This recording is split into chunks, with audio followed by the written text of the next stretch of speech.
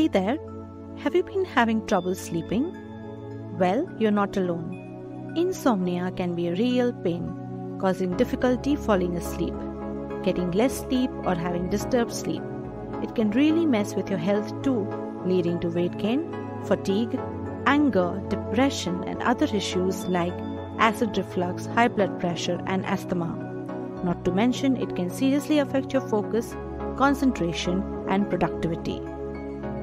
But don't worry, there are certain simple rules by which you can make certain energetic and physical changes in your environment to get restful sleep.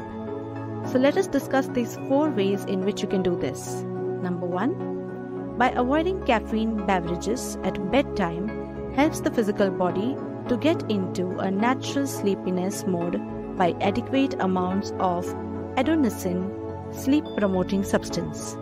Second, avoiding bright lights, use of technology that is mobile laptops 1 hour before sleep and regular sleep time and wake up time helps in proper release of melatonin hormone which helps influence our circadian rhythm and prevents insomnia.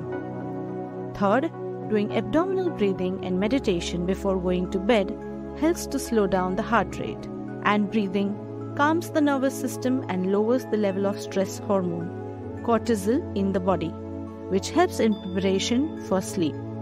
Fourth, simple non invasive techniques of pranic healing can help to restore harmony of the body for all long standing cases of insomnia which have led to physical, emotional, and mental illnesses. All the above solutions are easy to implement, including pranic healing techniques, which anyone above 16 years can learn in just two days.